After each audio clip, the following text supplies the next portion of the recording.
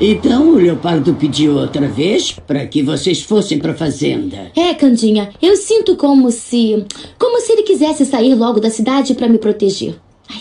E você deveria agradecer que ele se preocupe com você e com seu filho. Mas eu agradeço, mas na verdade. Ai, bom, ele já se convenceu que nesse momento não podemos ir. E por que não? Eu acho que ele tem boas razões para querer sair daqui. É, eu não duvido, só que agora eu tô começando a me dar bem com a minha mãe, né? É, isso sim foi a melhor coisa que aconteceu. Dona Cecília deve estar feliz. Tá sim, além do mais tem o Joãozinho. E caramba, ela tá super empolgada com o neto dela e também fica o tempo todo cuidando e mimando o menino. Ela quer ficar o tempo todo com ele. Eu acho que como ela não pôde fazer isso comigo, quer aproveitar para fazer com o neto. Para você ver. É, e também estou prestes a estrear a nova peça do teatro. E eu não posso deixar o amador na mão com toda a grana que ele tem gastado, imagina. Esse? Eu não me importo nem um pouco com ele. E o que me diz do casamento da Rosa? Eu não posso fazer feio nem faltar. A Rosa foi o tempo todo como uma irmã para mim, lembra? Hum?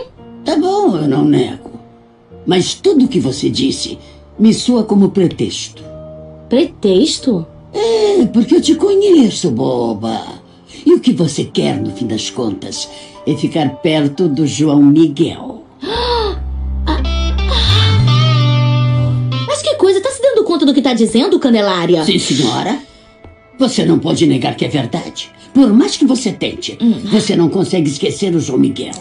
Você continua apaixonada, mesmo ah, negando. Ah, tá bom, tá bom. Por isso mesmo, por isso mesmo eu não vou permitir que a mulher que fez tanto mal pro Omar também faça pro João Miguel, né? Uh, isso é muito nobre da sua parte. É que eu não consegui te contar. Mas adivinha, eu fui falar com a Branca. Ai, meu Deus do céu. Uhum. Você teve coragem. Depois que ela tentou te matar, você não, teve coragem. Não, peraí. Acontece que a Branca é uma boa pessoa. Quem é bandida é a tal de Ivete.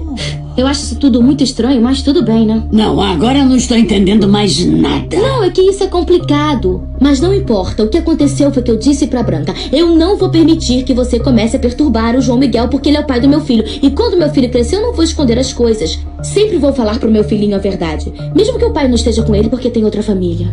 Hum?